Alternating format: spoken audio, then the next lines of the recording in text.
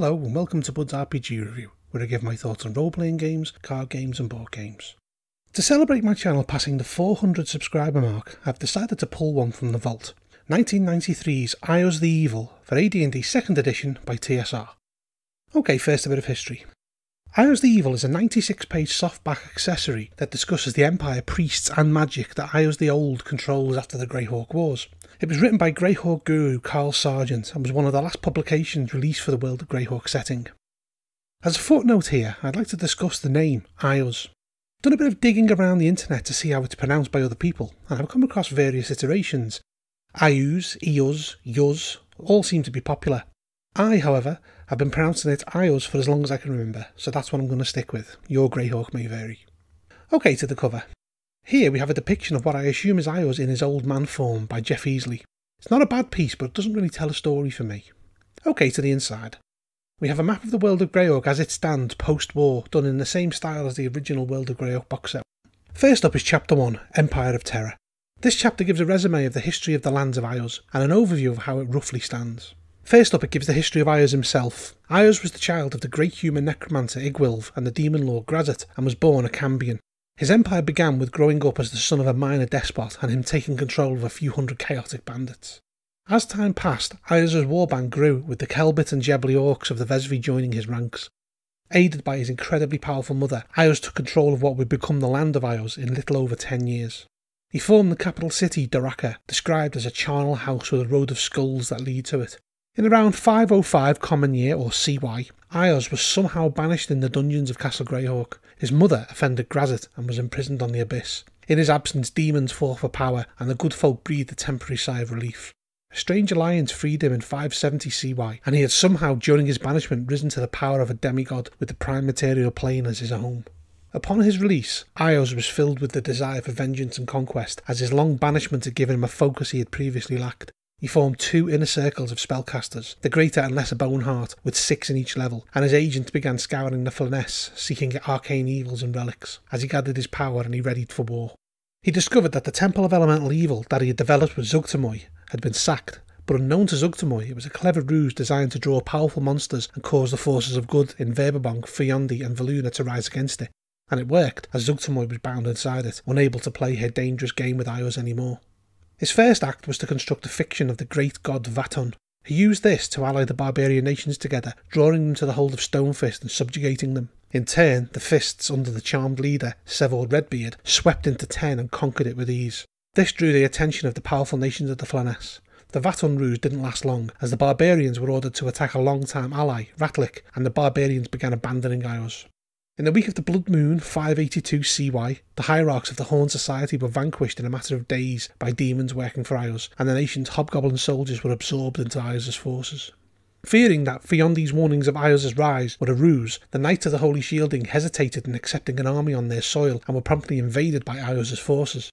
At this point, the war had awakened some of the slumbering nations of the Flanaess. The war, fought on many fronts, culminated in Iuz' army being driven back north in the autumn of 584 CY and the signing of the Pact of Greyhawk to end the war.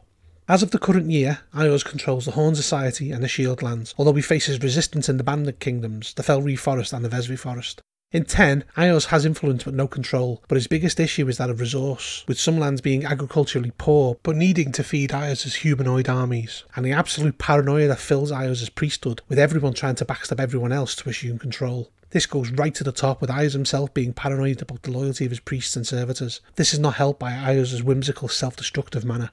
Iuz also bears a huge obsessive grudge with those who imprisoned him underneath Castle Greyhawk. The Mad Archmage Zagyg, Heward, Murlynd, Keoghtom, Kellan and the Prince of Swords, and the gods and Cuthbert. Although with the six of them being so powerful, a deity, a demigod and four quasi-deities, he would have an extremely hard time defeating them. Instead, Iuz sought vengeance on those who freed him and then tried to slay him. Lord Robilar, the Orc, Quidge, the Patriarch of Boccob, Rigby, the Archmages Tenser and Bigby, and the fighter Neb Retnar. Iuz was nearly destroyed and fled to the Abyss, and since that time has protected himself with a soul gem secreted in some well-guarded plane of the Abyss. He can be killed on the prime material plane, but unless his soul gem is also destroyed, he will return. Since that time, Tenser has been killed, Robilar is over a thousand miles away and cloaked in anti-scrying magic, as is Quidge. Rigby, now very old, hides in various places, as does Bigby, and Retnar is said to have become a cultist of Tharizdun, who Iuz hates and fears. Iuz has spies and informants all over the Flanaess who inform him of the whereabouts of these. He waits in anticipation for his moment to strike. He currently has an ambassador in the city of Greyhawk, Pyremiel Alaxani, whom all diplomacy is conducted through. He is apprehensive of the Scarlet Brotherhood, who he fears may be attempting to free Tharizdun. Iuz has risen so swiftly to power in part due to the fact that none of the powers of Oerth have struck against him, mostly due to the fact that the prime material plane is his home plane, which the gods are forbidden to interfere directly in, directly being the key word here. The gods of Oerth empower their servants to oppose Iuz as best they can. However, there is one exception to this non-intervention rule, St Cuthbert. He was involved in imprisoning Iuz in 505 CY and can only have done so with the agreement of all the gods, evil included. As such, St Cuthbert is Iuz' greatest enemy, while he also shares a hatred for Nerul and above all fears Tharizdun, and maybe surprisingly has a tenuous relation with Lolth. The second chapter details the priesthood of Iuz. Iuz' priesthood rules through fear. It embodies the very worst personality traits, behaviours, and attracts the worst, foulest people to his worship, who revel in murder, pain, and suffering. At the top of the pyramid is Iuz himself, with his two high priestesses Althea and Halga being the next in command, with a chronic state of fear being prevalent.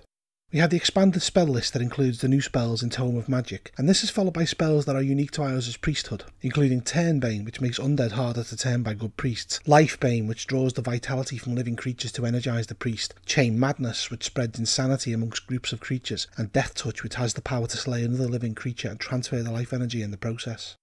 We then have some magic items associated with the priesthood. Here we have the Black Staff, which only high level priests possess, the Bone Wand, and the Ebon Skull, of which the creation process has been forgotten and only three are known to exist. Following this is the Land of Iuz. It discusses the various folks and factions of the land. Of interest here are the fiends of the land. Iuz has made pacts with various tanar'ri lords to have a demonic presence in his land, and they can be found in all shapes and sizes, from the mightiest Balor to the lowliest Dretch. It talks about Iuz' relationship with these tanar'ri lords, as well as his relationship with the Drow and Lolth. We have information on the humanoids of the land, with orcs being the most plentiful. There are various orc tribes that swear loyalty to the Old One, and these are detailed. It then goes into detail on the various places in the land of Iuz. I need to say at this point that if I went into detail around every location in the land of Iuz, we'd be here all day, as the pages are jam-packed, so I will simply outline the notable places of interest. The Howling Hills is first up. Iuz has three citadels here, Kendragund, Krangord and Erzengard. These are well stocked and fortified. Also of note is the Soul Husk Caverns. Here, hidden behind many traps, creatures and great magical defences, is said to be the answer to the mystery as to how Iuz ascended to demigod status. Next of note is the capital city, Dorakaa, City of Skulls. We have a basic map of the city and a description. Dorakaa is a place so bad it is said that the word evil doesn't do it justice. Continually overcast in black clouds with demons patrolling its 50 foot high stone walls, it's as close to hell on earth as can be. It details the walks and the city quarters. Of note are the Road of Skulls, which is every bit as bad as it sounds. The Boneheart Citadel where the Greater Boneheart dwell, and the Agony Fields, which is a site of public entertainment for Iuz' deranged followers, where one can see torture and murder daily. For more information on Dorakaa, see the Adventure City of Skulls. Next up is the Northern Vesve. This area is considered of major importance as it is Iuz' goal to decimate it, and he has stationed one of his lesser Boneheart priests, Panjazek, here. The central Vesve is the domain of the Orc Selbert tribe in Grenxarund. Also within the Vesve is Waterwall, a unique subterranean base for Iuz' forces hidden by hallucinatory terrain. Following this is the Furyondian borderlands. These lands are awash with armies, and part of it is a no man's land. Here we have the Bone Road and the Raising Line. Bone Road is similar in construction to the Road of Skulls, only slightly more careless, and the raising line is a quarter of a mile wide area of blasted barren land. It has been decimated by priests of Iuz with fire and acid in order to prepare it in some way for animate dead spells, and is of some concern to the Furyondians. Then we have the Horned Lands. These are ruled from the capital, Molag, by High Priestess Althea, although the effective ruler is a lesser Boneheart priest called Marinek. Iuz' priests keep watchful eyes over the Horned Lands. It's ruled through Iuz' usual method of bullying and terror, in the Horned Lands, demons in the service of Lord Pasriel, but under Iuz' command, have great influence. Of note here is the magical gem, Duernite, a special type of gem that can only be found here that contains random spells with both wish and longevity magic having been discovered. We have a rough map of Molag with some information on the city. Of note here is a place called Pinnacle. Pinnacle is a huge standing stone, some 150 foot high, that contains a magically concealed secret door on its base. If you enter, it leads down some stairs to a series of bizarre multicoloured catacombs filled with drifting mists. If one searches the caverns enough, a cache of Duernite gems can be found. Next up is the Shieldlands. These fell swiftly during the wars. The capital city of Admundfort is held by Iuz and ruled over by the lesser Boneheart mage Vane and a mix of orcs and orogs. Of note here is the walled town of Critwall. Although the town is currently occupied, a group of some 40 or so street children have managed to stay alive in the rubbled ruins and regularly steal food from the humanoid troops who can't seem to be able to capture them. They have amassed a selection of powerful magical items and avoid dying of injuries or disease due to a magical fountain underneath the ruined temple of Pelor. Also of note here is Ringland. This is a small 60 mile estate that has a powerful antipathy spell cast on it by some long dead mage that repels creatures of evil alignment. There's a settlement of humans within the area that continue to farm the land and survive undisturbed. Following this is the Bandit Lands. These lands are in a constant flux with petty conflict between priests of Iuz. It's currently overlooked by a lesser Boneheart wizard called Kranza. Of note here is the Rift Canyon and the Barrens. The Rift Canyon is a nearly 200 mile long fissure that is over a mile deep. It's the home of nearly 6,000 bandits under the faithful service of the self proclaimed Plar of the Rift, Durang Grossman. There are said to be magical secrets deep within the rift. Also of note is the grim citadel of Flyke Shriver. Of fiendish design and construction, Boneheart members visit here to research new spells and magical effects. Also contained within the citadel is a gateway to the abyss. The Fellreev Forest is next. One of the biggest woodlands in the Flanaess is very important to Iuz as it contains the High Folk and forces of Furyondy who he wishes to crush. It's also the location of the mysterious Lake Akwal, a mysterious magical place swarming with huge monsters, and lastly the great necropolis of Neryl's Bane, a potential source of 20,000 undead. Within the Fellreev there is a unique alliance, that of the bandit chief Scanner Hendrix and the Wood Elves. A friendly truce has developed between them and they actively aid each other, teaching each other skills. The forest also has a group of feral druids who, wearing little more than rags, seem completely otherworldly. Iuz has a poorly organised operation within the forest known as the Marauders, and they're generally war bands of orcs, hobgoblins, and orogs. Of note here is Darkpool, a ruined subterranean orcish city currently the hiding place of Hierarch Nesmegen, He's currently on a mission to find the necropolis said to be found within the forest. We also have Dora Kar, a ramshackle village occupied by the insane mage Zemyatin. He slew and animated the entire populace and now believes himself to be the one true priest of Iuz left on our earth. He is allied with a group of 20 quicklings who he has made invisible. Lastly, we have descriptions of Lake Akwal and Neryl's Bane. Following this is the Northern Barrens. The Rovers of the Barrens are a hardy people that still survive here, but are few in numbers with little hope left to sustain them. Of note here is the Gibbering Gate. This hellish fortress is ruled by the illusionist Jumper, and the effect of Iuz' evil can be seen here.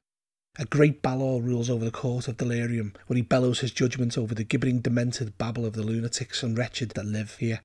The screams and moans can be heard for miles around, and it's a truly harrowing place. It also serves as Iuz' prison for particularly important prisoners. It's truly a place to be feared. The Northern Barrens is also the home of the cold marshes, which can produce particularly deadly magical winds known as Black Frost and Hoarwind.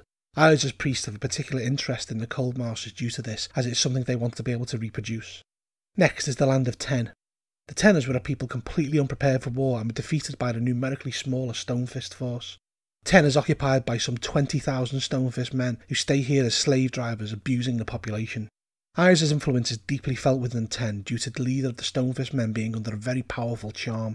Of note in Tenh are the Trollfens, a forbidding land filled with great trolls, ogres and gnolls. None of Iuz' forces will enter this dangerous place, not even the demons will enter here. The following chapter deals with adventure in the Empire. It talks about the adventure themes of running a campaign in the post-war lands, as well as some ideas for low-level gaming. After that is the Armies of Iuz, which gives information on Iuz' forces, and the final chapter is Villains and Heroes. Of note here are the High Priestess Althea of the Greater Boneheart, High Priestess Halga, Archmage Null, Jumper, and the terrifying Kerman Mindbender, replete with his magical turban that allows him to project a mind blast like an illithid. After this are the stats for the Lesser Boneheart and the Bone Shadow, a group of six priests and agents who are active for. Also included are the stats for Graz'zt, a Clavdra, the Drow Ambassador and Draka, and the Abyssal Lord Pazriel. Also of note is Sindol, commander of the Legion of Black Death, a Baron Cambion who has served Iuz with utter loyalty for nearly 20 years. For me, Iuz the Evil embodies the very best and worst of the end of AD&D 2nd edition. The book is absolute wall-to-wall text. Indeed, maps aside, there are only six illustrations in the entire 96 pages, which to me shows that TSR knew that Carl Sargent's material was top-notch, but just wanted to get it out there, rather than giving a book on someone as important as Iuz room to breathe. It maybe should have been a larger hardback book, or even a box set with a book similar to this, along with one dedicated solely to Draka, a selection of detailed maps, and maybe the City of Skulls adventure included. I know I would have bought it. It is important to note the critical role that Iuz plays in the world of Greyhawk setting. He is the main villain, or at minimum plays a part, in almost every bad thing that happens there, and this book was a long time coming, but when it did, it was definitely worth the wait. What is here was clearly a labour of love, and the detail really captures the mood and spirit of the setting. The spells and magic items were great additions, and the post-war descriptions of the lands is done in a very dark, evocative fashion. I would have liked to have fully described the lands here, but the review would have been literally hours long, such is the density of material present. The descriptions provided for the characters of the greater and lesser Boneheart are fantastic and provide enemies that players can aspire to take down, although a mark against it is not including the stats for Iggwilv and Iuz himself. If you're a fan of the World of Greyhawk setting, and especially Carl Sargent's other work, From the Ashes, you will love Iuz the Evil. It's sad in a way that this wasn't given the treatment that the writing deserved, but in actuality it could have went the way of the unpublished Ivid the Undying, such was the state of TSR's affairs back then. You can get hold of a copy. Iuz the Evil is a fantastic, if dense, read, it's available fairly cheaply as a PDF, I've linked it below. It's my hope that one day Wizards of the Coast will resurrect the World of Greyhawk setting and unleash the old one on a new generation of unsuspecting players. I give Iuz the Evil a solid 8.5 out of 10. If you enjoyed this review, please hit the thumbs up and subscribe to my channel. Also, don't forget to check out my other reviews. But out.